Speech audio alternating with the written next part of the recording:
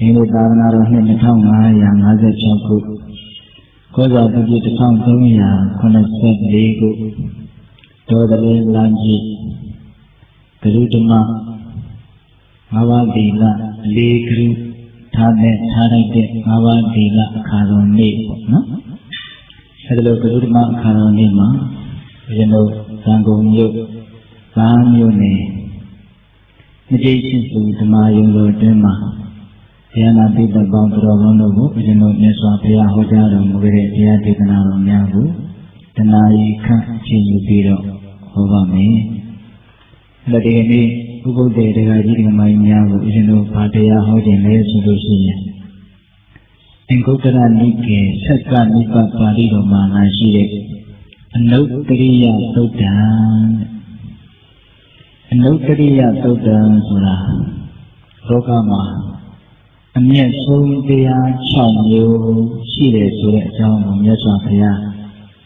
နှိုင်းရှင်ပြီးတော့ဟောတာ။ဒါဒီနေ့လို့ကုသိုလ်ကောင်းမှုတွေအထူးပြုကြတဲ့သေတ္တပေါင်းသူတော်ကောင်းတို့အတွက်ဒီသုတ်တံလေးဟာလိုက်ဆက်မယ်လို့ဦးဇင်းတို့ထင်ပါတယ်နော်။ဟောတရားတောင်းထားကြတဲ့ပုဂ္ဂိုလ်တွေကတော့ဘုရုဓမ္မအခါတော်နေ့ဖြစ်တဲ့အတွက်ကြောင့်ငါးပါးတိကနဲ့ပတ်သက်ပြီးတော့ နည်းနည်းလေးပြောပြပါလို့စောင့်ထားတယ်။ဒါမျိုးဦးဇင်းကသိပြီးတော့မပြောခြင်းဘူး။မပြောခြင်းဘူးဆိုတာကရှိကဘုန်းကြီးကလည်းဒါပြောကောင်းပြောသွားမယ်လို့ထင်တယ်။ဟုတ်လား။တော်ရင်သားကြီးဆိုလို့ရှိရင်ဒါကပြောကြတာပဲလေ။ကုရုတိုင်းနာတို့ကျင့်သုံးတဲ့တရားမို့လို့ကုရုဓမ္မအဲဒီကနေဂရုဓမ္မတနည်းအားဖြင့်လည်းဂရုဓမ္မဆိုတာ အလေးအနက်ထားပြီးတော့ကျင့်သုံးတဲ့တရားပေါ့ငါးပါးတိလာကိုပြောတာပါပဲဟုတ်လားဒါကိုဦးဇင်းတို့အတိသေးဖို့အများကြီးမလိုဘူးလို့ထင်တယ်လူတိုင်းသိပြီးသားဖြစ်မယ်လို့ထင်တယ်သိတဲ့အတိကိုတတ်နိုင်မများလိုက်နာဖို့အပိုင်းနေလိုမယ်လို့ထင်တယ်ဟုတ်လားဒါကြောင့်ဦးဇင်းတို့ဖေတပါဘုရားဟောင်းတို့ကိုဒီနေ့ကုသိုလ်ကောင်းမှုတွေနဲ့ကြုံတွေ့ရတဲ့အခါကာလမှာ ဘုရုတန်တံမှာရရှိနေတဲ့ကုသိုလ်ကောင်းမှုတွေဟာဘလောက်မြင့်မြတ်တယ်လဲဆိုတာနဲ့ပတ်သက်ပြီးတော့စိတ်ထဲမှာဝမ်းမြောက်ဝမ်းသာကြည်ကြည်နူးနူးကုသိုလ်ကောင်းမှုတွေကိုကြည်နူးမှုတွေဝမ်းသာမှုတွေနဲ့ထုံမှန်းမယ်ဆိုလို့ရှိရင်အဲ့ဒီကုသိုလ်ကောင်းမှုတွေဟာပို့ပြီးတော့အားရှိတော့ပို့ပြီးတော့စင်ကြယ်တန့်ရှင်းတော့ပို့ပြီးတော့အကျိုးပေးဖို့ခွန်အားရှိတဲ့ကုသိုလ်ကောင်းမှုတွေဖြစ်လာပြီကိုဆိုပြီးတော့ရည်ရွယ်ပြီးတော့အနုတ္တရိယသုတ်တံကိုပြောပါမယ်ဟုတ်လား အဲ့ဒါဦးဇင်းတို့ညတရားဝဲကြီးတွေမဟုတ်တဲ့အတွက်ကြောင့်ဘုရားရှိခိုးတာတွေခံခံနာနာတွေပြောမနေတော့ပါဘူးတရားကလူရင်းကိုပဲတဏှာကြီးလောက်ပြောရအောင်နော်ဒါဆိုရင်တရားကပြောဖို့လည်းပဲပုံပြီးတော့အချိန်ရသွားတာပေါ့ဟုတ်လားအဲ့ဒါဦးဇင်းတို့ဒီတုတ်တန်ကိုအကျေဖွင့်ဆိုမယ်ဆိုလို့ရှိရင်အများကြီးပြောလို့ရတယ်ဒါမဲ့ဦးဇင်းက အမျက်ဆုံးတရား6မျိုးမှာတစ်မျိုးတစ်မျိုးကိုစဉ်းစားစရာလေးတွေတွေးစရာလေးတွေအစာကလေးတွေပေါ်ပြီးတော့ပဲပြေးသွားကြတာဒီတတို့ရဲ့ကိုယ်ပိုင်ဉာဏ်နဲ့ဒီလာမှတ်သားထားတဲ့ပရိယတ်တိဘုဒ္ဓတန်နဲ့နှိုင်းရှင်ပြီးတော့မိမိတို့ရဲ့အသိဉာဏ်ကိုအသုံးချပြီးတော့ချက်ခင်ပြီးတော့စဉ်းစားတဲ့အပိုင်းကိုလည်းလုပ်ကြကြည့်ခြင်းနဲ့ဟုတ်လားအနုတ္တရိယဘုဒ္ဓံမြတ်စွာဘုရားဉာဏ်တော်တွေကိုဟောခဲ့တာဒီဘုဒ္ဓံလေးက အနုတ္တရိယအမျက်ဆုံးတရားလို့ပြောနေရတယ်။စာယိမာနိဒိဋ္ဌိအနုတ္တရိယာနိစိတ်သားကိုလောကမှာအမျက်ဆုံးတရားဆိုတာ6မျိုးရှိတယ်။ဘယ်နေရာမှာမြတ်တာလဲလို့နှိုင်းရှင်ပြတဲ့မြတ်စွာဘုရားဟောတာ။စိတ်သားကိုလောကမှာအမျက်ဆုံးတရား6မျိုးဆိုတာဘာတွေလဲဆိုတော့ ဒသနာနုတ္တရိယံမြင်ခြင်းလေးမှာတော့အမျက်ဆုံးမြင်ခြင်းပေါ့မျက်စိကလည်းရှိနေတယ်မြင်တရားအချင်းတွေကလည်းရှိနေတယ်ဆိုတော့မြင်တဲ့ကိစ္စကမလွဲမသွေဖြစ်ခြင်းဒီဖြစ်စေမဖြစ်ခြင်းဒီဖြစ်စေရှိနေမှာပဲအဲ့ဒါလိုမြင်တဲ့ကိစ္စတွေထဲမှာအမျက်ဆုံးသောမြင်ခြင်းဆိုတာရှိတယ်တဲ့အဲ့ဒါဘာလဲဆိုတော့ဦးဇင်းတို့ပြီးတော့ရှင်းပြမှာပေါ့နော် သတ္တနာနုတ္တရိယအမျက်ဆုံးသောမြင်ခြင်းနောက်ပြီးတော့သဝနာနုတ္တရိယအမျက်ဆုံးသောကြားခြင်း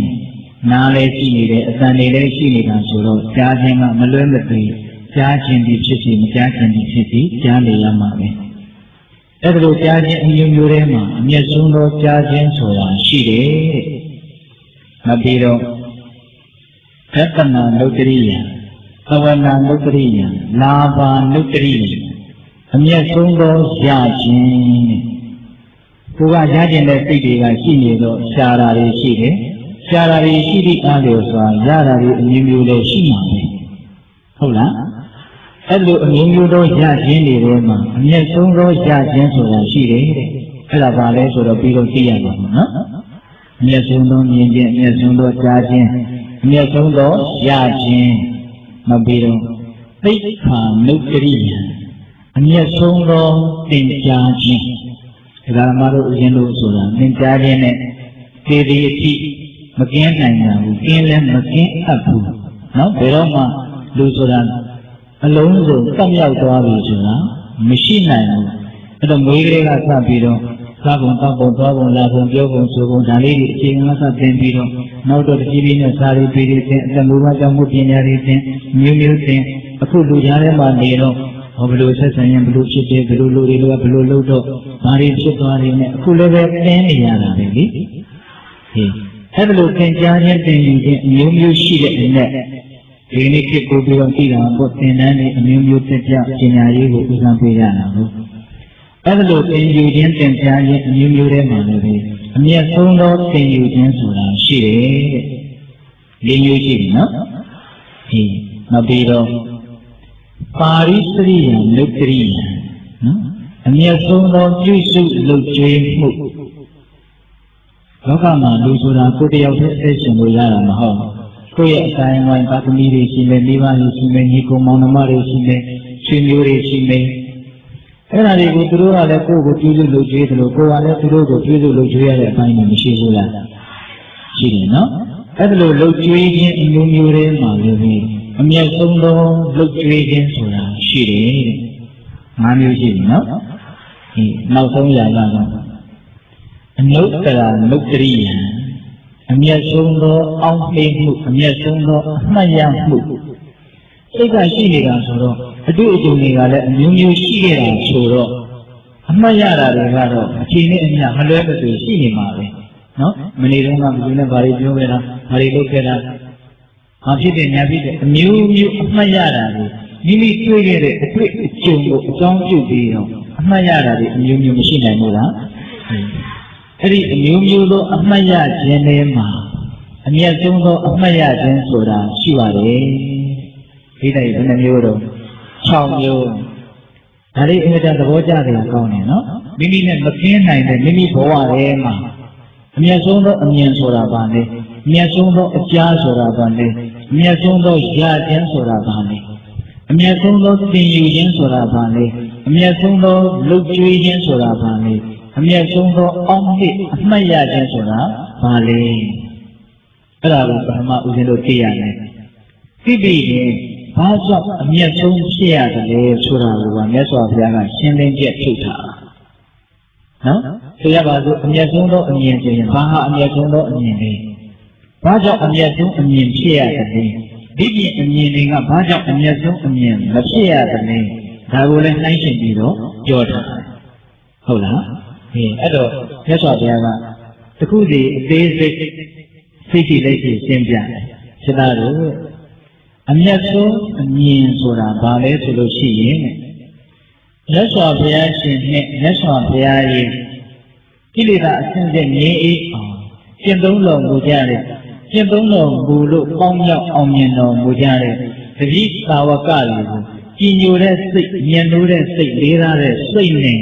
မြင်ရတာဟာအဲ့ဒါအမျက်ဆုံးသောအမြင်ပါပဲဟုတ်လားအမျက်ဆုံးသောအမြင်ကိုသဘောပေါက်သွားပြီနော် ဒီသက်စွာဘုရားကတော့အသေးစိတ်ပြောတာစေတာတို့တဲ့လောကကြီးမှာဒုက္ခိနဲ့ဒုက္ခလေရှင်ယရဏမြင့်ယရဏဗရမ ्या ယရဏဟုတ်လားအဲ့ဒါလိုအမြင်မျိုးကိုသိကောင်းတာလဲဆိုရင်ကြည့်ဖို့ရှုဖို့သွားကြလာကြကြိုးစားအထောက်ကြမြင်ဖို့အတွက်လုပ်ကြတာအဲ့ဒီမြင်ခြင်းတွေအမျိုးမျိုးသောမြင်ခြင်းတွေမရှိဘူးမဟုတ်ဘူးရှိပါတယ်တဲ့ဒါပေမဲ့အဲ့ဒီမြင်ခြင်းတွေဟာမမြတ်ပါဘူးတဲ့မြတ်စွာဘုရားကတော့ဘလို့တောင်ပြောတယ်ဆိုတော့ ဟိနာကမ္မဘောထုဇနိကအနရိယအနတ္တတဟိတနနေတိရာယနဝိရာဂယနနိရောဓာယနဥပပမယနအပိညာယနနိဗ္ဗာနာယသံဝတ္တိမမြတ်ချင်းရဲ့အကြောင်းကမြတ်စွာဘုရားကပြောတာဟိုမြတ်စွာဘုရားနဲ့တကွာမြတ်စွာဘုရားရဲ့တတိတာဝကတွေကိုမြင်ရင်းကလွယ်လို့တခြားသောမြင်စရာတွေကိုမြင်ရတဲ့ကိစ္စတွေကမပြတ်ပါဘူးတဲ့ဟိနာ အောက်တန်းကြလေတဲ့နော်ကာမကြံ့ထမ်းတယ်တဲ့ဘောထောဇနိကကိလေသာများတဲ့ပုဂ္ဂိုလ်တွေရဲ့အမြင်မှာတဲ့အနရိယာဖြူရှင်တန်ရှင်းတဲ့ပုဂ္ဂိုလ်တွေရဲ့အမြင်မဟုတ်ဘူးတဲ့အနတ္တတန်ဟိတာအကျိုးစီးပွားနဲ့မဆက်ရှင်ဘူးတဲ့တခြားသောမြင်ရင်းတွေဟာအဲ့ဒီစကလုံးလေးကတော်တော်ထိတယ်နော်အနတ္တတန်ဟိတာအကျိုးစီးပွားနဲ့ မဆက်ရှင်ဘူးအကျိုးစီးပွားမဲ့ရင်းနဲ့လာနေဆက်ရှင်နေတယ်အကျိုးစီးပွားဆိုတာကသူကစစ်မှန်တဲ့အကျိုးစီးပွားကိုပြောတာနော်ရပြီးတော့အပြင်ဝေးပြည့်စည်သွားနိုင်တဲ့အကျိုးစီးပွားမျိုးကိုဆိုလိုတာမဟုတ်ဘူးဟုတ်လားစစ်မှန်တဲ့အကျိုးစီးပွားနဲ့မဆက်ရှင်ဘူးဒါကြောင့်မို့လို့မြတ်စွာဘုရားကဘယ်လောက်ထိအသေးစိတ်ပြောထားလဲဆိုတော့ဒီပြင်မြင်ရင်းတွေဟာတဲ့နနေတိတာယညီငွေတဲ့ညီငွေလိုက်တဲ့တရားတွေကိုညီငွေဖို့မဖြစ်နိုင်ဘူးတဲ့ တကယ်စင်ဖြစ်လောကကြီးကညီငွေတဲ့ညီငွေလိုက်တဲ့တရားကြီးပဲမိမိခန္ဓာကြီးကလည်းညီငွေတဲ့ညီငွေလိုက်တဲ့တရားကြီးပဲညီငွေတဲ့ညီငွေလိုက်တဲ့ဆိုရင်ညီငွေမှသာနေအမှန်ဖြစ်လိမ့်မယ်ညီငွေတဲ့ညီငွေလိုက်တာကိုမညီငွေဘူးဆိုရင်ဒါအမှန်မဖြစ်ဘူးဒီထဲမှာတော့ဒုက္ခတွေအများကြီးရောက်အောင်မယ်ဆိုတဲ့လက္ခဏာပေါ့ဒါကြောင့်တခြားသောမြင်ရင်းတွေဟာနာနေပြီတာရညီငွေတဲ့ဉာဏ်ရဖို့ရမဖြစ်နိုင်ဘူးတဲ့နောက်ဝိရာကာယ ဆွဲမဲ့မှုပြင်းရင်းတာမဖြစ်နိုင်ဘူးတဲ့တကယ်စင်စစ်လောကကြီးကဆွဲမဲ့စရာမကောင်းတဲ့အတွက်ကြောင့်ဆွဲမဲ့မှုပြင်းတဲ့တယ်ဆွဲမဲ့မှုပြင်းတဲ့တရားကိုဆွဲမဲ့မှုပြင်းမှတာနဲ့အကျိုးရှိလိမ့်မယ်မဆွဲမဲ့ထိုက်တဲ့တရားကိုဆွဲမဲ့နှိအဲ့ဒါဒုက္ခရောက်တယ်အဲ့ဒါတခြားသောမြင်ရင်းတွေကအဲ့ဒါလိုဆွဲမဲ့ခြင်းမြင်ရင်းကိုမဖြစ်ပြနိုင်ဘူးတဲ့နော်နာနေတိရာယနဝိရာဂာယနဥပတမညာ စိတ်နှလုံးရဲ့ငြိမ်းချမ်းခြင်းမှာမဖြစ်ပြနိုင်ဘူးတဲ့တခြားသောမြင်ရင်းတွေကငြိမ်းချမ်းဖို့မဖြစ်နိုင်ဘူးတဲ့ဟုတ်လားပူလောင်မှုတွေပဲဖြစ်စေမယ်ဆိုတဲ့အဓိပ္ပာယ်ပေါ့ဟုတ်လားနာဥပတမညာနာနိရောဓာယဒုက္ခတွေချုပ်ဖို့မဖြစ်နိုင်ဘူးတဲ့နာအဘိညာယထူးသောဉာဏ်ဖြင့်သိခြင်းမှာမဖြစ်နိုင်ဘူးတဲ့နာ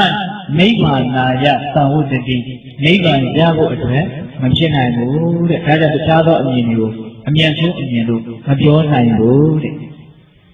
မြတ်စွာဘုရားနဲ့မြတ်စွာဘုရားရဲ့တတိတာဝကတွေကိုမြင်ရတာကတော့အမြတ်ဆုံးအမြင်လို့ပြောရမယ်တဲ့ဘာလို့လဲဆိုတော့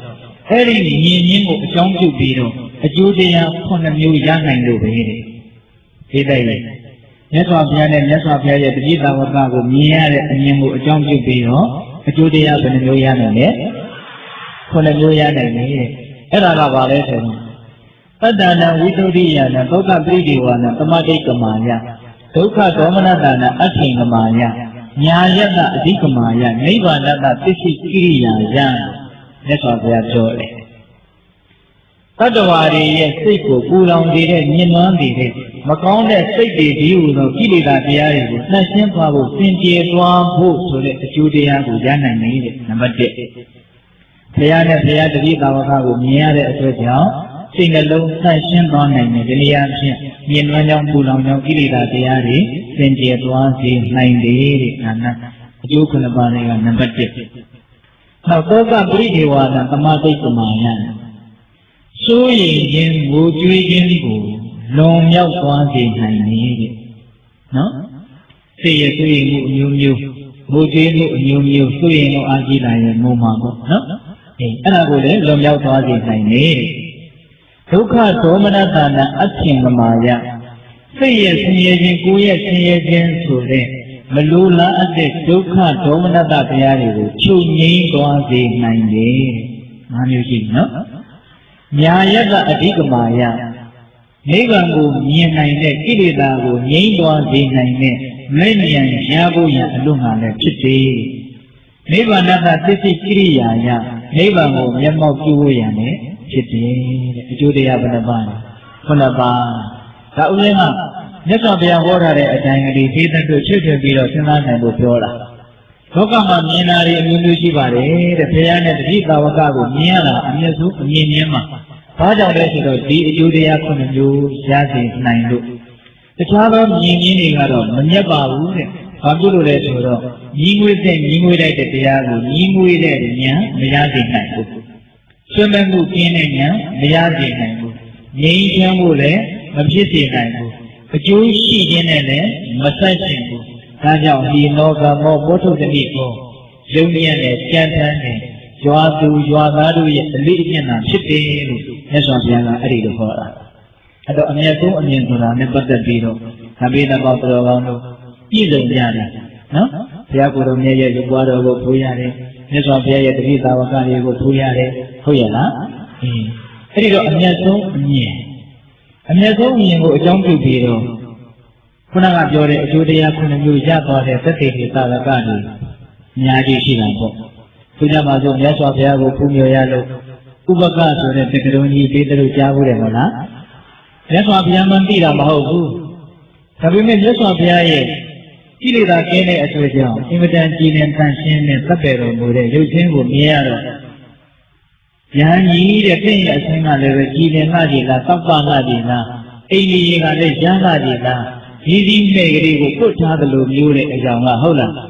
သံဒီမဲ့ကိုမျက်နှဝလေးခွာထားသလိုမျိုးတဲ့ဒါကဦးဇင်းတို့တောကလူတွေကတော့ပိုးသိနေတာပေါ့လေဝင်းပြီးတော့ဣနေတာဘာနဲ့မှကိုမတူဘူးလို့ပြောရမလို့ဖြစ်နေတာဟုတ်လား အဲ့ဒီလိုမြတ်စွာဘုရားရဲ့အရှင်းကိုမြင်ရတော့သူကြီးကျူးပြီးတော့ရှောက်တယ်ဘယ်သူကိုကြီးရွပြီးတော့ယဟန်ပြုခဲ့တာလဲသင်္စီယာကဘယ်သူလဲအဲ့ဒီမှာမြတ်စွာဘုရားကငါဟာမကောင်းမှုအလုံးကိုအောင်မြင်လို့ငါရဲ့နာမည်ကိုဇိနာလို့ခေါ်တယ်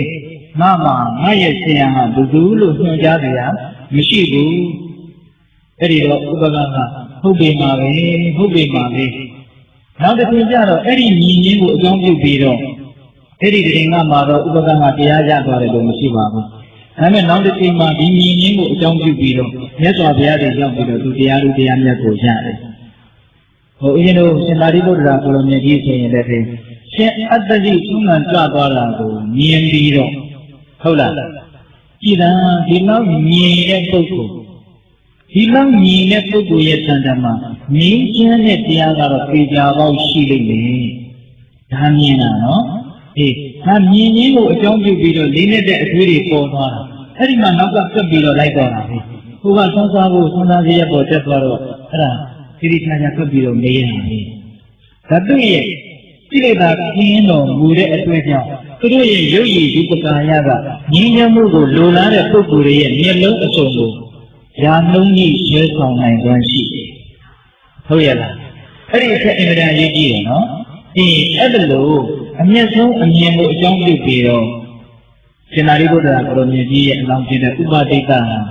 ယေရမာဟိတုပ္ပဝါတရားကိုနားပြီးတော့မဖြစ်တာလို့သောတာပန်ဖြစ်တယ်။ဟုတ်ရဲ့လား။ဒါကြောင့်ဒိဋ္ဌတော်သူတော်ကောင်းတို့အမျက်ဆုံးအမြင်ဆိုတဲ့ဒီစကားလေးနဲ့ပတ်သက်ပြီးတော့ဟိုလေးလေးနက်နက်လက်တွေ့ကြကြတွေးတတ်သိခြင်းနေနော်လောကမှာလောဘဒေါသမောဟငြင်းတဲ့ပုဂ္ဂိုလ်ကိုမဆိုထားနဲ့ လောဘဒေါသမောဟငြင်းတဲ့ပုဂ္ဂိုလ်ကိုမြင်ရတာတောင်စိတ်ထဲမှာဘလောက်အေးချမ်းတယ်လေဒါကြောင့်ဦးဇင်းတို့မင်္ဂလာတရားတော်မှာလည်းသမနာနိသဓတ္တနာဟုတ်လားသမနာနိသဓတ္တနာယဟန်ကိုမြင်ရတာမင်္ဂလာမင်္ဂလာဆိုတာမကောင်းမှုကိုပြေခွန်ပြီးတော့ကောင်းမှုကိုဆောင်ကျင်းလာနိုင်တဲ့အရာကိုမင်္ဂလာလို့ခေါ်တာဟုတ်နော်ယဟန်ကိုမြင်ရတာဟာဘယ်နဲ့ကြောင့်မင်္ဂလာဖြစ်တယ်ဆိုတော့သမဏ သမဏဆိုတာရဲ့အတိတ်တွေကကိလေသာငြိမ်းနေဆိုတဲ့အတိတ်ကိုပြောတာဟုတ်ရဲ့လားအဲ့တော့ဟိုယဟန်မှာလူမလို့ဒီလိုပြောကြမယ်ဆိုလို့ရှိရင်ဘောင်ကကျင်းသွားနိုင်တယ်ဟုတ်ရဲ့လားအဲ့တော့ကိလေသာငြိမ်းပြီးမှန်ရင်သုတ်တန်နည်းအရာသမဏအမည်ကိုမခံနိုင်ဘူးလားနော်ကိလေသာသမဏိတိတိသမနောဟုတ်လားကိလေသာကိုငြိမ်းချမ်းစေတဲ့ငြိမ်းနေတဲ့ပုဂ္ဂိုလ် အဲ့တော့ဆိုလိုတာကကိလေသာနေတဲ့ပုဂ္ဂိုလ်ကိုမြင်ရတာကငြိမ်းချမ်းတယ်ဆိုလို့ရှိရင်ကိလေသာလုံးဝကင်းတော်မူတဲ့မြတ်စွာဘုရားဝါသနာနဲ့အကွာကင်းတော်မူတဲ့မြတ်စွာဘုရားကိလေသာအစဉ်စဉ်ပဲတတ်တော်မူတဲ့အရိယာသံဃာကိလေသာကင်းအောင်ရှင်းပြတော်မူကြတဲ့သမုဒိသံဃာတွေမြင်ရတာဟာအမျက်ဆုံးမြင်ရင်မဖြစ်နိုင်ဘူးလားဆိုတာလေးကိုတွေးကြဖို့ဟုတ်ရလားအေးဒါတော့လောကမှာအမျက်ဆုံးအမြင်ဆိုတာ ဘုရားနဲ့ဘုရားရဲ့တတိတာဝကကိုမြင်ခြင်းပါလို့နားလည်ရတယ်နော်ဒီဦးဇင်းတို့6မျိုးပြောမှာဆိုတော့တစ်မျိုးတစ်မျိုးကိုအဲ့ဒါလောက်ရှင်းနေလို့မဖြစ်ဘူးဟုတ်လားအေးအမျက်ဆုံးအမြင်ပြီးတော့အမျက်ဆုံးအကြာတဝနာလုတ်တရိမားလည်းရှိတယ်အတန်လည်းရှိတယ်ဆိုတော့ကြားတာတွေအမျိုးမျိုးပေါ့အဲ့ဒီမှာမြတ်စွာဘုရားကအမျက်ဆုံးအကြာဆိုတာဘာပြောတာလဲဆိုတော့တဲ့ မြတ်စွာဘုရားနဲ့မြတ်စွာဘုရားတတိနာဝကတို့ထံကနေပြီးတော့ဒီတန်တဘာဝကြတဲ့မှန်ကန်တဲ့အကျိုးစီးပွားနဲ့ဆက်တဲ့တရားစကားသံကိုကြားရတာကအမျက်ဆုံးသောအကြာပါကျန်တာတွေကိုကြားရတာအမျက်ဆုံးသောအကြာမဖြစ်နိုင်ဘူးတဲ့။ဘာဖြစ်လို့လဲဆိုတော့ကျန်တာတွေကိုကြားခြင်းအပြင်ပြစ်မှန်တဲ့အကျိုးစီးပွားနဲ့မဆက်ရှင်ဘူး။ညီငယ်ဖို့မဖြစ်ဘူး။ တမက်ချင်းကင်းလို့မဖြစ်ဘူး။ငြိမ်းချမ်းဖို့မဖြစ်ဘူး။နိဗ္ဗာန်ရဖို့မဖြစ်ဘူး။ဒါကြောင့်ဒီနောက်ကမဲ့ဘုထုစတိကိုလို့မြတ်စွာဘုရားကပြောတယ်။တရားသံကိုကြားရခြင်းဒီတာနဲ့အမျက်ဆုံးသောအကြပါ။ဘာဖြစ်လို့လဲဆိုတော့သူ့မှာလည်းပဲယခုနကပြောခဲ့တဲ့အကျိုးတရားခုနှစ်ပါးရနိုင်လို့ပဲ။အကျိုးတရားခုနှစ်ပါးကိုတော့တဘာပြီးတိုင်းတဘာပြီးတိုင်းဦးနဲ့ဆက်မပြောတော့ဘူးနော်။ ဟုတ်လား။မပြောတော့ဘူးဆိုပြီးလိမ့်ခွက်လည်းဟောတော့ပြောလာတယ်ဟုတ်လား။ကိလေသာကျင်းဖို့ဟုတ်လား။လောကပရိဒီဝတွေကိုကြော်သွားသွားဖို့ဒုက္ခဒေါမနတတွေချုပ်ငြိမ်းသွားဖို့အရိယာမင်းဉာဏ်ကိုရပြီးတော့နိဗ္ဗာန်ကိုမျက်မှောက်ပြုနိုင်ဖို့ကျိုးတရားကပါလေခုနပါအဲ့ဒီအကျိုးတရားခုနပါးဒီအမြတ်ဆုံးသောအကြားကိုအကြောင်းပြုပြီးတော့ရနိုင်တယ်ဒါကြောင့်တရားကံကိုကြားရခြင်းဒီအမြတ်ဆုံးသောအကြားဖြစ်ရတယ် ဟုတ်လားဟိုဒါကိုပြောတော့ဦးဇင်းတို့အင်္ဂုတ္တပါဠိတော်မေသမနိပ္ပမာလာရှိတယ်ကာရဏပါဠိသုတ်တံဆိုတာလေးကိုအကျဉ်းချုပ်ကလေးပြောလို့ရှိရင်ဟုတ်လားကာရဏပါဠိသုတ်တံနဲ့ဒီနေ့ဝေဒာတိဒီမှာကာရဏပါဠိဆိုတဲ့ပုံသားကြီးကလမ်းလျှောက်ဆွေရင်တဲ့ကိဉ္စီယာနီလို့အမည်ရတဲ့ပုံသားကြီးနဲ့လမ်းမှာတွေ့တယ်တွေ့တော့မေးတယ် ကိဉ္စီယာနီပုံသားကဟာကျင်းနဲ့ပြန်တယ်ကပြန်လို့ဒီတော့ယဟန်ဂေါရမတွေကပြန်နေတဲ့ကိဉ္စီယာနီပုံသားကြီးကယဟန်ဂေါရမတွေကပြန်နေဆိုတော့သူစိတ်ဝင်စားသွားတယ်မြတ်စွာဘုရားကအဲ့ဒီအချိန်မှာဆန်းဆန်းသောက်နာမည်ကြီးနေတယ်လို့ဆိုကြပါဆိုအဲ့ဒါသူကတော့မြတ်စွာဘုရားဒီကိုသွားတာတော့မဟုတ်အဲ့ဒီမှာကာရဏပါဠိပုံနာကပိဋိယာနေကိုဘယ်နဲ့မေးလဲဆိုတော့အာမေးဦးမယ်တဲ့သင်္ကယဟန်ဂေါရမကြီးကပြန်လာဆိုတော့ အဲ့ဒီယဟန်ဂေါရမရဲ့ပညာအတိတ်အနက်ကိုသင်ဘယ်လိုသဘောရလဲဟုတ်လားယဟန်ဂေါရမရဲ့ဉာဏ်ပညာအတိတ်အနက်ကိုသင်ဘယ်လိုအကဲခတ်လို့ရလဲအဲ့ဒီတော့ပိဋိယာနေကဘာပြောလဲဆိုတော့ငါကဘယ်လိုလူလဲယဟန်ဂေါရမရဲ့ပညာအတိတ်နဲ့ကိုသိဖို့ဆိုတာယဟန်ဂေါရမလို့လူမှသိနိုင်လိမ့်မယ်ဆိုလိုလူကဆိုလိုတာက ငါလိုလူဟာယဟန်ဂေါရမရဲ့ပညာအတိတ်နဲ့ကိုမသိနိုင်ဘူးလို့ဆိုလိုတာဘုရားတို့ရဲ့သဘောကိုဘုရားတို့ကလည်းပြည့်စုံစုံသိနိုင်ပါဘူးဟုတ်လားမြတ်စွာဘုရားရဲ့ဉာဏ်ပညာအကြီးအသေးဆိုတာကိုမြတ်စွာဘုရားလိုပုဂ္ဂိုလ်မှသာနဲ့သိနိုင်ပါအဲ့ဒီလိုပြောတော့ကာရဏပါဠိပုံနာကဒီထဲမှာနည်းနည်းဖြုံသွားတယ်ပေါ့နော်။ဘာပြောလဲဆိုတော့သင်ကချီးကျူးလာနေလားတဲ့ယဟန်ဘောရမ။ အဲ့ဒီလိုပြောတော့သူကပြန်ပြောပြန်တယ်။ဟာကဘယ်လိုလုပ်လဲ။ယဟန်ဘောရမကိုချီးကျူးနိုင်လို့တဲ့ဉာဏ်မှမရှိဘူး။စင်စစ်ယဟန်ဘောရမဆိုတာအချီးကျူးခံတိုက်တဲ့ပုဂ္ဂိုလ်တွေရဲ့ချီးကျူးခြင်းကိုခံတိုက်တဲ့သူပါ။နတ်လူဖို့ထက်မြင့်တဲ့တဲ့ရဟန်းဘောရမကိုပြည့်ပြည့်စုံစုံကြည်ကျူးနိုင်တဲ့ဉာဏ်ပညာငါမယ်မရှိပါဘူးတဲ့။ဒါပြောတယ်။အဲ့ဒီလိုပြောတော့ပိုးပြီးတော့ဟိုက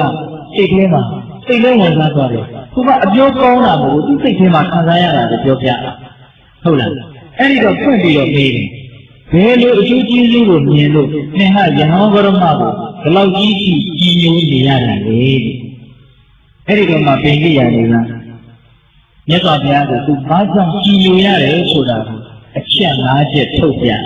ဟုတ်လား အဲ့ဒါကဦးဇင်းတို့အမျက်ဆုံးသောကြားခြင်းဆိုတာလေးနဲ့နှိုင်းရှင်ပြီးတော့တွေးလို့ဦးဇင်းကပြောပြတာဟုတ်လားအင်း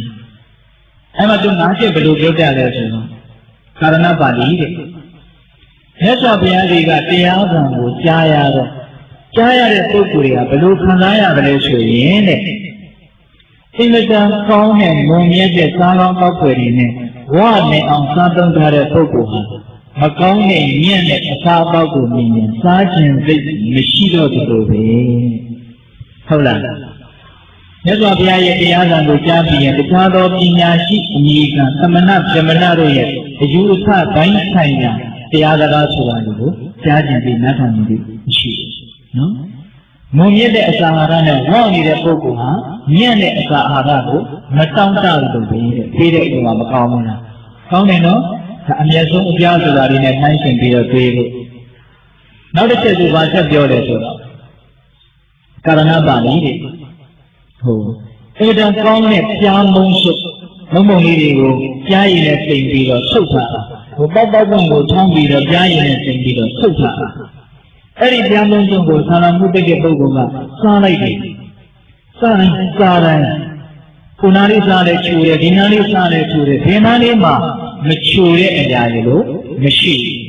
အဲ့လိုပဲမြတ်စွာဘုရားရဲ့တရားစကားကိုကြားလိုက်ရတယ်အစကိုပဲကြားရကြားရအလေကိုပဲကြားရကြားရအဆုံးကိုပဲကြားရကြားရစိတ်နှလုံးကိုမကြည်နူးစေဘူးဆိုတာရှိကုန်ရှိဘူးတဲ့။ကြားမုန်းလို့စားလို့ဘယ်နာမှမချူတာမရှိဘူးလို့ပါပဲ။ဒါလေးပြောရနော်။နောက်တတိယတစ်ချက်ပါဆက်ပြောလို့ဆိုတော့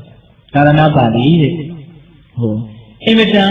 အနတ်နဲ့ပြည့်စုံတဲ့စံကူသုံးဟုတ်လား။အဲ့ဒီစံကူသုံးကိုတစုံတယောက်သောပုဂ္ဂိုလ်ကအရင်ကနမ်းမယ်ဆိုရင်လည်းမှုရည်အလေကနမ်းမယ်ဆိုရင်လည်းမှုရည်အဖျားကနမ်းမယ်ဆိုရင်လည်းမှုရအဲ့လိုပဲမြတ်စွာဘုရားရဲ့တရားစကားကိုကြားရတာဘယ်အပိုင်းလေးကပဲကြားရကြားရဟုတ်လားစိတ်ရဲ့ကြည်နူးမှုနှစ်သက်မှုဝမ်းမြောက်မှုရှင်လန်းမှုကိုရကိုရစီတယ်။ဒါ သူမြတ်စွာဘုရားကိုကြည်ညိုတဲ့အကြောင်းတွေကိုပြောတာနော်။ခဏချက်ရှိသွားပြီနော်။သုံးချက်ရှိသွားပြီနော်။အဲနောက်သရုဒ္ဓချက်သူပါပြောလို့ဆိုတော့ပြင်းထန်တဲ့ယောဂဝေဒနာအနှိမ့်ဆက်ခံနေရတဲ့ယောဂတဲ့အင်မတန်ပြင်းပြင်းလိမ်ပါတဲ့သမားတော်ကြီးရဲ့ကုသချက်ကိုခံလိုက်ရတော့တခါတည်းယောဂဝေဒနာတွေပျောက်ပြီးတော့ရှင်းပြီးတော့နင်းသွားတယ်လို့သက်တာရရသွားတယ်လို့နော်မြတ်စွာဘုရားရဲ့တရားစကားကိုနားလဲရတော့ကြားလဲရတော့ စိတ်ထဲမှာအဆင်မပြေမှုကြီးတော့ယောဂကိုဝေဒနာကိုဥပမာပြောရမှာဆိုဟုတ်လားနော်ဒါဒီထဲမှာအရှင်မပြေမှုလို့ပဲဦးဇင်းတို့လုံးပြီးတော့ပြောလိုက်ကြပါဆိုဟုတ်လားဟေးအလိုဆန္ဒတွေဖြစ်နေတာဟာအရှင်မပြေနေတာပါပဲဟုတ်လားလိုးနေတယ်ဆိုတဲ့ကောကအရှင်မပြေဘူးပေါ့ရှင်းရှင်းလေးပဲနော်လိုးနေတဲ့ဆိုတဲ့ကောကသူ့မှာပြည့်စုံခြင်းဆိုတာမရှိဘူးမရှိဘူးပြည့်စုံခြင်းမရှိဘူးပြည့်စုံခြင်းရှိမှကောင်းမှာဟုတ်လားဒါပေမဲ့မပြည့်စုံဘူးကိုလိုးနေတယ် ခက်တာကလည်းပဲလိုအပ်ခြင်းဖြင့်လိုးနေခြင်းဖြင့်အားလဲလူချင်းကိုဘယ်တော့မှမမြင်နိုင်ဘူးဆိုလိုတာကအလိုဆန္ဒဖြင့်အလိုဆန္ဒကိုဘယ်တော့မှအဆုံးသတ်မပေးနိုင်ဘူးဆိုတဲ့အချက်ဟုတ်လားအလိုဆန္ဒတွေကအလိုဆန္ဒတွေကိုပဲဆက်ပြီးတော့ဖြစ်စေလိမ့်မယ်အဲ့တော့အလိုဆန္ဒပြရတာဒီထဲမှာမပြေခင်လာမှာပဲအဆင်မပြေလာပါပဲနော် မကြည်မနဲ့ပြရတာကတော့ကိုပြေတော့ပြည်တာနဲ့သင်ရှားတဲ့ဒီထဲမှာမပြေတယ်ဘူးအဆင်မပြေဘူးဆိုတာဟုတ်လားအဲ့တော့ဒီတတုံကမြင်ရှိပါနော်ကြည့်ရတာစေပါလုံးဒီထဲကိုဖြစ်ပြီးတော့စဉ်းစားတတ်ပြီဟုတ်လားအဲ့တော့ယောဂဝေဒနာနှိမ့်ဆက်ခံနေရတဲ့ယောဂတွေဟာတဲ့တမားတော်ကြီးရဲ့ကုသချက်ကိုခံလိုက်ရလို့သက်သာရရပျောက်ကင်းသွားသလိုမျိုးမြတ်စွာဘုရားရဲ့တရားစကားကိုနားလဲရတော့ဒီထဲမှာအရှင်မပြေမှုတွေဟာအကြီးကြီးနဲ့ပျောက်တော့ပြီးတော့သက်သာရ ရတယ်တဲ့ဒါကြောင့်သူမြတ်စွာဘုရားကိုအင်မတန်ကြီးနေရင်ပေါ့နော်နောက်တစ်ချက်ငါးခုမြောက်သူပါပြောလဲဆိုတော့ပူလောင်ခြင်းရဲ့အနှိမ့်ဆက်ခံနေရတဲ့ဆာလောင်မှုတ်တိတ်ခြင်းဖြင့်အနှိမ့်ဆက်ခံနေရတဲ့လူတစ်ယောက်ကကြည်လင်အေးချမ်းနေတဲ့ရေကန်ကြီးကိုတွေ့ပြီးဆိုတော့သူအားရအောင်တောက်တယ်ပြီးတော့စဉ်းဆင်ပြီးတော့အားရအောင်ချိုးတယ်အဲ့ဒီမှာသူအစာလဲပြည်တယ်အပူအလောင်လည်းကြောက်တော့တယ် အဲ့ဒီဥပမာအတိုင်းပဲဘဒ္ဒဝါရီရဲ့တန်တမှာဆာလောင်ခြင်းဆိုတာရှိတယ်ပူလောင်ခြင်းဆိုတာရှိတယ်ကိလေသာတွေကိုပူလောင်ပြုတဲ့သကလုံးတွေပါဟုတ်လားအဲ့ဒီဆာလောင်ခြင်းပူလောင်ခြင်းဆိုတဲ့တရားတွေမှာမြတ်စွာဘုရားရဲ့တရားဒီဟူသောရေခံကြီးရဲ့ကိုရှင်းပြီးတော့တောက်လိုက်ရတယ်ချိုးလိုက်ရတယ်ဆိုတာနဲ့ကြောက်ကင်းခြင်းကိုကြောက်တော့တယ်။ဒါကြောင့်ဒီမြတ်စွာဘုရားကိုအင်္ဂတန်ကြည်ညိုပါလေ။ဘယ်နှချက်ပြောတာလဲ။ငါးချက်ပြောတာ အဲ့ဒါလိုလည်းပြောလိုက်တော့ကာရဏပါဠိပုံသားကသူဝစ်လာတဲ့ဒီကျတို့အပေါ်ယုံကြီးကိုလက်ကြောတင်ပြီးတော့မြတ်စွာဘုရားရှိတဲ့နေရာကိုလှည့်ပြီးတော့နမောတတ္တဘဂဝတောအရဟတောနမသံဗုဒ္ဓတ္တဆိုတာနဲ့မြတ်စွာဘုရားကိုရှိခိုးတယ်လို့ဆိုပါတယ်ဟုတ်လားအဲ့တော့ဒကာမတို့ဦးဇင်းတို့မှတ်သားရမှာကမြတ်စွာဘုရားရဲ့တရားတန်လေးဆိုတာဒီဥပမာငါးချက်မှာလာရှိတဲ့အတိုင်းအင်မတန်မုံမြတ်ကောင်းမွန်တဲ့အတွက်ကြောင့် အမြတ်ဆုံးသောကြားခြင်းမှာဒီအတန်လေးကိုကြားဖို့ညံ့တာဟုတ်ရလားဒါကြောင့်အမျက်ဆုံးတော့အကြာ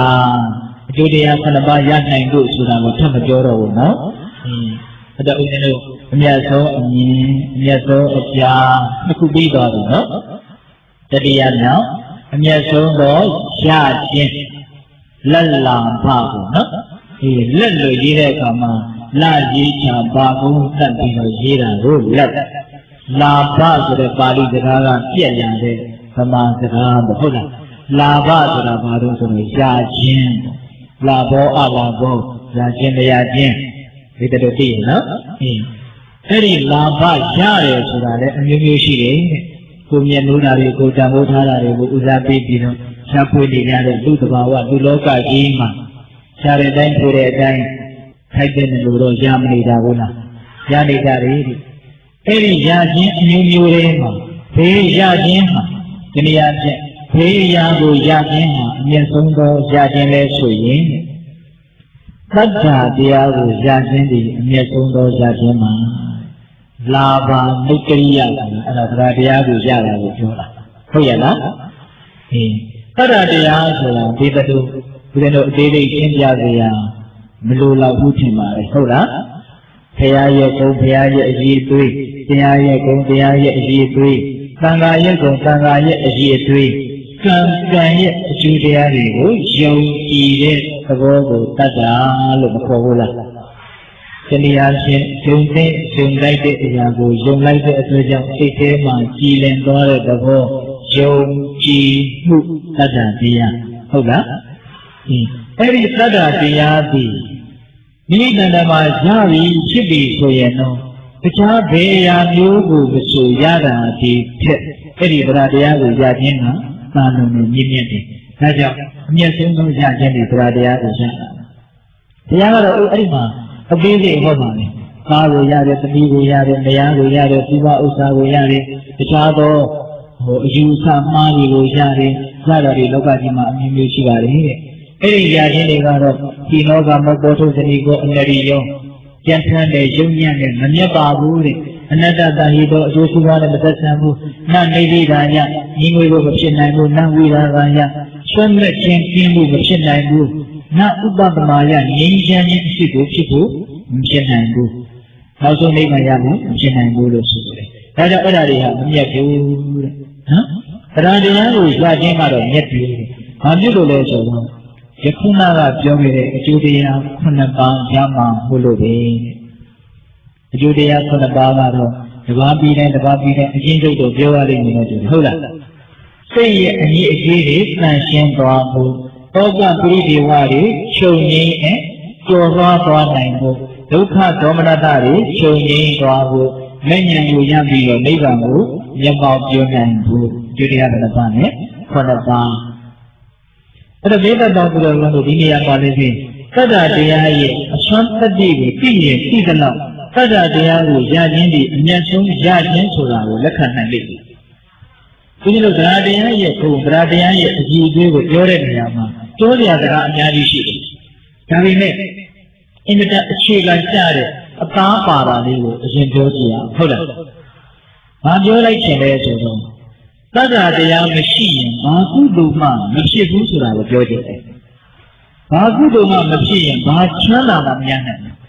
။ဟုတ်လား။အဲ့တော့အစဉ်ပြေမှုချမ်းသာမှုမျိုးမျိုးကိုရကြရင်ကောင်းမှုဆိုတဲ့အပြစ်ကင်းမှုတန်ရှင်းမှုစင်ကြယ်မှုမြင့်မြတ်မှုဆိုတဲ့ကုသိုလ်ကောင်းမှုတွေရဖို့လိုတယ်ရှိဖို့လိုတယ်။အဲ့ဒီကုသိုလ်ကောင်းမှုဆိုတဲ့မြင့်မြတ်မှုစင်ကြယ်မှုတန်ရှင်းမှုဆိုတာဒီရကြင်တဲ့ဆိုရင်ယုံကြည်မှုဆိုတဲ့တတ္တတရားရှိဖို့လိုတယ်။ ဒါကြောင့်တရားမရှိရင်ဘာကုသိုလ်မှမလုပ်ဘူး။ဘာကုသိုလ်မှလည်းမရနိုင်ဘူး။အဲ့ဒါရဲ့မယုံတဲ့လူတယောက်ဟာဆိုကြပါစို့ဒါနရဲ့အကျိုးကျေးဇူးကိုမယုံလို့ရှိရင်ဒါနကိုဘယ်ကြည့်မှလို့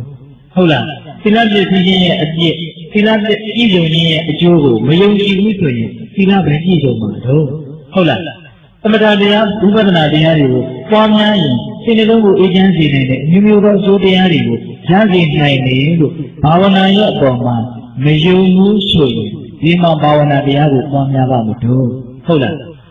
ခုဒီကရမတို့လူတွေကုသိုလ်ကောင်းမှုကိုပြုကြတဲ့နေရာမှာကိုယ်အတိုင်းအတာလေးနဲ့ကိုပြုကြတာတယောက်နဲ့တယောက်ကုသိုလ်ပြုကြတာအကြီးအသေးတူနိုင်မှာမလား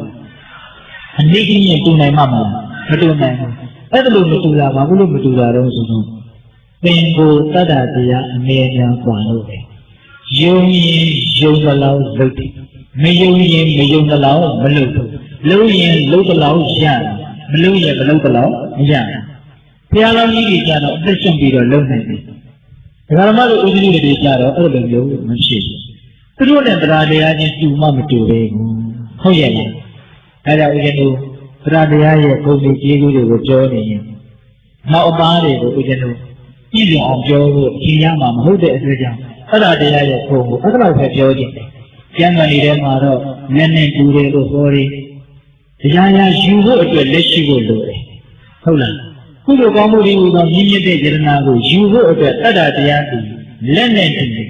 လက်မရှိရင်ဘာမှမယူနိုင်တယ်လို့တတ္တမရှိရင်ဘာမှမြင့်မြတ်တာကိုမယူနိုင်ဘူးဆိုတဲ့အဓိပ္ပာယ်ဟုတ်ရဲ့လားဒီပြောလို့ဆိုရင်ကိုယ်မြင်ရမရှိဘူးနော်တရားတရားနဲ့ပတ်သက်ပြီးတော့ဒါကြောင့်အဲ့ဒါလောက်မြင့်မြတ်တဲ့အတွက်ကြောင့် ချမ်းသာခြင်းတရားရဲ့အခြေခံဖြစ်နေတဲ့အတွက်ကြောင့်ယုံကြည်မှုတတ္တတရားကိုရခြင်းသည်ရရသမျှသောလက်လာပါတွေထဲမှာတော့အမြင့်ဆုံးသောလက်လာပါပါပဲဟုတ်ရဲ့လားဒီဒကာမတို့ဦးဇင်းတို့တွေကတော့ဘာကလေးဖြစ်နိုင်ရင်လက်ကောင်းတယ်လို့ထင်ရတယ်လေဒါလေးစဉ်းစားကြရဟုတ်လားဒီလက်ကောင်းလိုက်တာလို့ဘယ်လိုအခါမျိုးမှပြောတယ်လဲ အဲ့လိုပြောတဲ့အခါမျိုးမှာဘလောက်ဖရာဟောနဲ့လွယ်တယ်လေဆိုတာလေးကိုဒီခါတည်းစဉ်းစားဖို့ဟုတ်လားဖရာကတော့လက်ကောင်းတယ်ဆိုတာဘာကိုပြောတာလဲ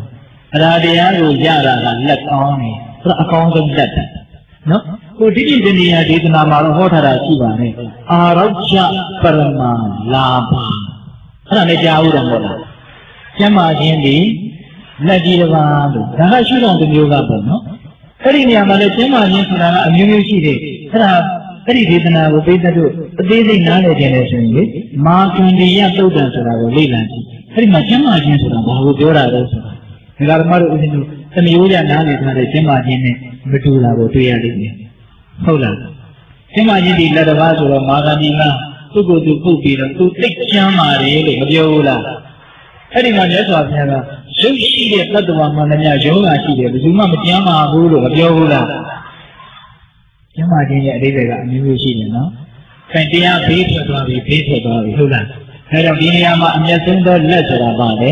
။အေးတတ္တတရားတတ္တတရားကိုရရင်တော့အဲ့ဒါလက်ကောင်းတယ်။တတ္တတရားမရှိရင်မရှိဘူးဆိုတော့လက်သိတယ်လို့ပြောကြတယ်ဟုတ်လား။ဘာကောင်းမှုမှမရနိုင်တဲ့အတွက်ကြောင့်လက်သိသွားပြီဟုတ်လား။အင်း ဒါကြောင့်ဦးဇင်းတို့အကောင်းဆုံးအမျက်ဆုံးရခြင်းကိုရခြင်းနဲ့ဆိုရင်သတ္တတရားဖြစ်အောင်ကြိုးစားပါ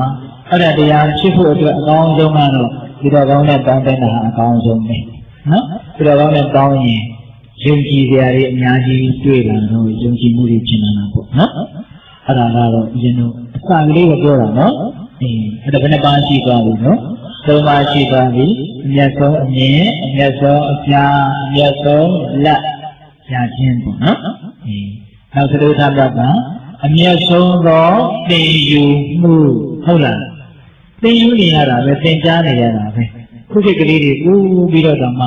ဒီဒေသနာနဲ့ညှိကြည့်မယ်ဆိုရင်ဟောတနာရရာကောင်းတယ်နော်မနဲ့လင်းလာတဲ့အခါကျနေဝင်မှုချုပ်ညှိပါပြီသူတို့ဘာလုပ်နေရတော့သင်ယူနေရတယ် ဟုတ်လားဘလောက်ဆက်သွားတယ်လဲဆိုတာတော့မသိဘူးနင်းတော့နင်းနေကြတာပဲဟုတ်လားနော်ဟင်းအဲ့တော့ဒကာသမားတို့ဦးဇင်းတို့လည်းပဲဒါအသက်သေးသေးအထိဘဝဆက်တိုင်းဆက်တိုင်းကိုပဲဆိုပြောကြတာဆိုဘာလို့နေကြမှာတော့သင်ကြားနေကြမှာ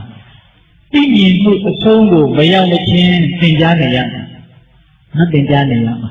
မသင်ကြားဘူးဆိုရင်လည်းပဲထုံအပြီးတော့ညံ့ပြီးတော့အောက်ကိုဆင်းသွားမှာပဲအဲ့တော့သင်ကြားနေရမှာပဲနော် အဲ့ဒီလိုသင်ကြားခြင်းအမျိုးမျိုးရှိတဲ့အနက်မှာဘယ်သင်ကြားခြင်းဘယ်သင်ယူခြင်းဟာအမျက်ဆုံးသောသင်ယူခြင်းလဲဆိုရင်တဲ့မြတ်စွာဘုရားကအဓိတိလနော်အဓိတိလနော်အဓိစိတ်ကအဓိပညာလို့ဒီကလုံးသုံးလုံးပြောတယ်နော်အဓိတိလကိုသင်ကြားတယ်အဓိတိလဆိုတာကသီလချက်သီလကိုကျင့်တရားချက်ကိုကျင့်တရားပေါ့နော်ဒီကိုနဲ့မြို့ကိုဆောင်ပြီးတဲ့နေရာမှာ ဘလောက်ထိနှံ့ရှင်းအောင်သင်ကျေအောင်ဆောင်သိရမလဲဆိုတဲ့အပိုင်းကိုပြည့်စုံစုံသင်ကြားပေးတာအဲ့ဒါအဓိတိလကိုသင်ကြားတာပေါ့နော်ဘယ်လိုပြောရမလဲဘယ်လိုလုပ်ကြရမလဲဆိုတဲ့အချက်ကာယကံဝစီကံနဲ့ပတ်သက်ပြီးတော့သင်ကြားတယ်လို့ဘုရင်တို့အကျဉ်းချင်းပြောကြပါစို့နော်အတိတိလနော်အဓိစိတ်ကဆိုတာကတမာရီပိုင်းဆံရနဲ့ပတ်သက်ပြီးတော့သင်ကြားတာမိမိရဲ့စိတ်ကိုငြိမ်အောင်ဘယ်လိုလုပ်ရမလဲနော် အမှန်တရားတွေကိုမမြင်နိုင်အောင်ဖုံးလွှမ်းထားတဲ့တရားတွေကိုနိဝရဏလို့ဆိုတယ်ဒီတရကြားဘူးတယ်နော်နိဝရဏဆိုတာအမှန်တရားတွေကိုမမြင်အောင်ဖုံးထားတာကိုယ်ထားအဲ့ဒီနိဝရဏတရားတွေကိုဖယ်ရှားနိုင်မှစိတ်ရဲ့တည်ငြိမ်ရင်းသမာဓိဆိုတာကြတယ်တနည်းအားဖြင့်သမာဓိဆိုတာကြရင်နိဝရဏတရားတွေကမိမိတန်တယ်မရှိဘူးဟုတ်လားအဲ့လိုမျိုးအဓိစိတ်က နောက်ဆုံးအဘိညာဉ်အဆင့်ပေါ့နော်သမာဓိရှိပါသမာဓိနယ်ပယ်ကြီးအများကြီးရှိတယ်နော်အဲ့ဒါတွေကိုကြာဝနာဝရှိအောင်မိမိတို့ကလေးစိတ်ဝင်စားတယ်ဆိုရင်အဲ့ဒီလမ်းကျင်ကိုရှောက်တက်အောင်သင်ကြားတာလို့ကြတော့အဓိစိတ်ကသမာဓိသာသနာကိုသင်ကြားတယ်သမာဓိနဲ့ပတ်သက်ပြီးတော့အဆုံးအမကိုခံယူတယ်လို့ဆိုမှာပေါ့နော်အဓိတိလအဓိစိတ်ကအဓိပညာအဓိပညာဆိုတာကအဓိဆိုတာလေးတက်တာဆိုတော့ကာမပညာမဟုတ်ဘူးနော် ကာမပညာဆိုတာကတော့တစ်မျိုးပေါ့နော်ကာမပညာကတော့ပညာလို့တောင်ပြောဖို့ဖြစ်ပါတယ်ပညာတွေဖြစ်နေတာများတယ်သူကမှတ်တာဒါကဒီလိုလုပ်ရင်ဒီလိုဖြစ်တယ်ဆိုတာတော့ကိုသူမှတ်တာဟုတ်လားဟေးပညာဆိုတာကအဲ့လိုမဟုတ်ဘူးသူ့ရဲ့အမှန်သဘောတဘာဝကိုဉာဏ်နဲ့ထူးထွင်းပြီးတော့နားနေတာသိတယ်ပေါ့နော်ပြောရရင်အမှန်တိုင်းသိလိုက်တဲ့သဘောကိုပညာလို့ပြောကြပါစို့နော်ဒီ အဲ့ဒီပညာကလည်းပဲသာမန်ပညာမဟုတ်ဘူးတတိပညာနော်မိမိရဲ့ခန္ဓာကိလေသာတရားဒါတွေကိုထုတ်ဖော်ပြီးတော့သိနိုင်တဲ့မြင်နိုင်တဲ့ဉာဏ်လို့ဆိုတယ်အဲ့ဒီပြောရရင်တော့ဖြစ်ပေါ်လာတဲ့သဘောချုပ်ပြောက်သွားတဲ့သဘောကိုသိရင်ပညာလို့မြတ်စွာဘုရားပြောတော်တာဒီကျွန်တော်အင်္ဂုတ္တကာရီတို့ဝိဇ္ဇာသုတ်တံမှာဒိဋ္ဌိဖွင့်ထားတာရှိတယ်ဟောပညာဆိုတာဘာလဲဆိုလို့ရှိရင်ဖြစ်ပေါ်လာတဲ့သဘော ချုပ်ပြောက်သွားတဲ့သဘောဖြစ်ချင်းပြင်းချင်းကိုနော်ဥရိယဝေယအဲ့ဒီသဘောကိုသိတယ်ဆိုလို့ရှိရင်အဲ့ဒါပညာလို့မြတ်စွာဘုရားပြောတယ်အဲ့ဒီပညာကိုအခြေခံပြီးတော့ပွားများပဲဆိုလို့ရှိရင်နောက်ဆုံးဝစီရနော်စိတ်နော်စိတ်နဲ့တော့ဥပမာပေးရနော်မိုးကြိုးဆက်သွားအဲ့ဒါလိုမျိုးပြင်းထန်တဲ့အစွမ်းသိပြီးတော့ကြီးတဲ့သစ္စာလေးပါးကိုမြင်နိုင်တဲ့ကိလေသာကိုဖောက်ခွဲပြနိုင်တဲ့မဉ္ဇဉ်ပညာဆိုတာ ကိုကြားနေဟုတ်လားအဲဒါကခုနကဥရိယပယဉာဏ်ကိုအခြေခံပြီးမှကြတာနော်အဲ့ဒါလိုမျိုးသီလနဲ့ပတ်သက်ပြီးတော့သမာဓိနဲ့ပတ်သက်ပြီးတော့ပညာနဲ့ပတ်သက်ပြီးတော့ကာမန်သီလသမာဓိပညာတွေမကပါဘဲနဲ့ရှေ့ကအဓိတက်တာတွေအဓိသီလအဓိစိတ်ကအဓိပညာဒီအချက်သုံးချက်နဲ့ပတ်သက်ပြီးတော့ကျွမ်းကျင်မှုရှိအောင်လိမ္မာမှုရှိအောင်သင်ကြားတာဒီသင်ကြားကသင်ကြားခြင်းထဲမှာ မြတ်စွာဘုရားသင်ကြားခြင်းမှာလိုအပ်တယ်နော်ဒီလိုက်ကြလိုက်များဟင်ဘယ်ရာမျိုးလို့ဆိုဆရာမပြရင်မပြီးဖို့တောင်နေမပြဘူးလို့ရှိတယ်မပြီးဖို့တောင်နေမပြလို့ဆိုမှတော့သီလသမာဓိပညာနဲ့ပတ်သက်ပြီးတော့ဆရာမပြဘူးဆိုရင်ဒီကြတယ်အကြောင်းသိပြီးတော့မရှိဘူးဟောဒါကြောင့်သိလာရမယ်လိုက်စားရမယ်သင်ယူရမယ်ဒီကိစ္စကိုမြင့်ဆုံးသောပညာရေးလို့သဘောထားသင့်တယ်ဟုတ်လားဒီနေရာမှာနှိုင်းရှင်ကြည့်နေတယ် လောကီပညာရေးဆိုတာကအတမိုးဝမ်းကြောင်းမှုကိုအထူးထိတ်တတ်ထားတာဒါပါပဲနော်တနည်းအားဖြင့်ရှင်သန်မှုကိုအဓိကတတ်ထားတာနော်ကျမကြီးမာရေးညာရေးမျိုးမျိုးအဲ့ဒါဘာတွေကိုဥပဒေထားတာလဲဆိုတော့အစဉ်ကြီးကြီးရှင်သန်ဖို့ဆိုတာသူ့ပန်းတိုင်မှာပဲနော်အခုဒီအဓိပ္ပာယ်အဓိပ္ပာယ်အဓိပညာဆိုတဲ့ဒါကိုသင်ကြားတယ်ဆိုတဲ့ပညာရေးကတော့ရှင်သန်မှုကိုအဓိကထားတာလေအများကြီးသားတယ်သူကဘာလဲဆိုတော့ငြင်းချမ်းဖို့ကိုအဓိကထားတာလွတ်မြောက်ဖို့ကိုအဓိကထားတာ ရှင်သန်ခြင်းနဲ့လွတ်မြောက်ခြင်းတရားကအရေးကြီးတယ်လွတ်မြောက်ခြင်းကအရေးကြီးတာပေါ့ရှင်သန်ခြင်းကရှင်သန်နဲ့သိတယ်ရှင်သန်နဲ့သိဆုံးတယ်ရှင်သန်နဲ့သိဆုံးတယ်သိဆုံးခြင်းနဲ့ပဲအဆုံးသတ်တယ်ပြီးတဲ့ကိစ္စမဟုတ်နော်လွတ်မြောက်ခြင်းမပါဘူးဟုတ်လားဒါကြောင့်ဦးဇင်းတို့အဓိတိလာအဓိစိတ်အဓိပညာနဲ့ပတ်သက်ပြီးတော့သင်ကြားတယ်ဆိုတာကလွတ်မြောက်ရေးကြီးကိုဥတည်နေတာပွဲပြီးမဲ့ကိစ္စတွေကိုဥတည်နေတာကျန်တဲ့ကိစ္စတွေကပွဲလုံးဝမပြီးဘူး နော်အခုရှင်ကြည့်ပဲတော့ကြအစဉ်မပြေဖြစ်ဦးမှာပဲအခုမြင်တယ်တော့ကြနေဦးမှာပဲအခုချမ်းသာနေတယ်တော့ကြဆင်းရဲဦးမှာပဲဒါကြောင့်ဒီတာမန်ပညာရေးတွေကိုအခြေခံပြီးတော့ချမ်းသာတယ်အစဉ်ပြေတယ်ဆိုတာကမပြောပါတော့ပါဘူးနော်ဟိုအရင်လိုမဟာကြီးပြောဘုရားကြီးပြောတဲ့စကားရှိပြောရမယ်ရှင်။သမ္မာဒုက္ခခေယယ